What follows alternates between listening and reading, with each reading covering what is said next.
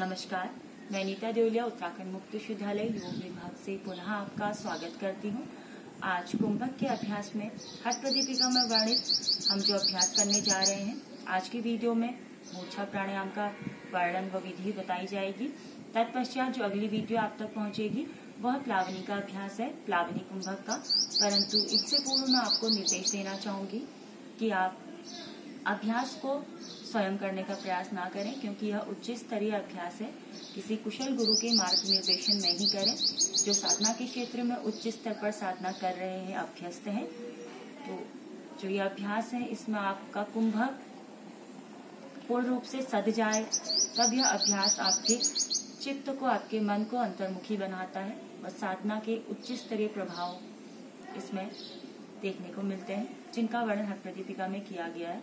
तो आइए, अब हम विधि एक बार जान लें कि मूर्छा प्राणायाम किस प्रकार करते हैं। जैसा कि नाम से ही प्रतीत होता है, इस अभ्यास से मूर्छा का आभास होने लगता है। तो जब यह अभ्यास करते हैं, इसे अधिक नहीं किया जाता है।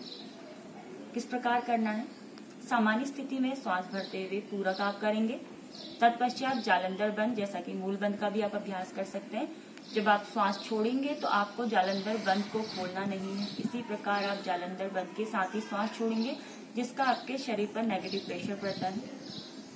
आप स्वतः महसूस करेंगे, जब आप पूरी श्वास छोड़ देंगे, तब आप सामान्य स्थिति में लौटेंगे, पुनः श्वास भरेंगे, और जालंधर बंद के साथ आप फिर इस प्रकार क्रम जो है इसके आगे बढ़ते जाते हैं। तो आइए अभ्यास कर लें।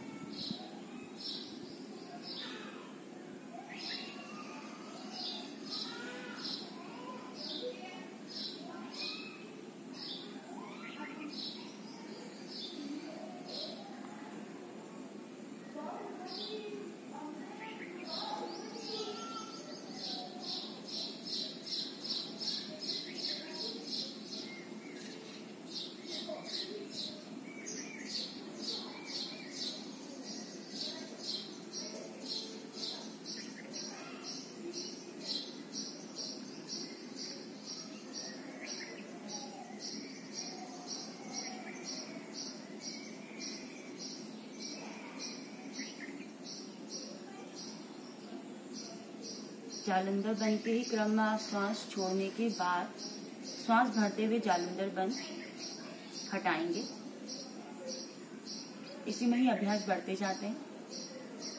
ध्यान रहे, इस अभ्यास को करते हुए जब आप जालंधर बंद के साथ श्वास छोड़ते हैं तो बहुत असहजता भी महसूस होती है।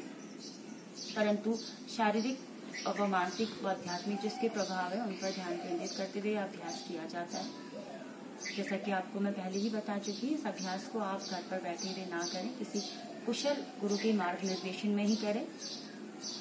यह अभ्यास की कुछ सामान्य सावधानियाँ हैं कि जिन्हें हृदय रोग है, हाई बीपी है, इसकी किसी प्रकार की समस्या है, जिनसे कि उन्हें घबराहट होती है, चक्कर आता है, सिर में दर्द होता है। इसका अभ्यास, इसके अभ्यास की आपको कोशिश भी नहीं करनी है।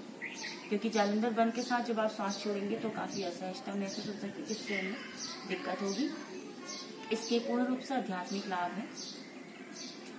कुंभक में अभ्यस्त होने के बाद ही इसके सीधे लाभ हम प्राप्त कर सकते हैं, जो हमारे व्यक्तित्व को, हमारे मन को अंतर्मुखी करता है।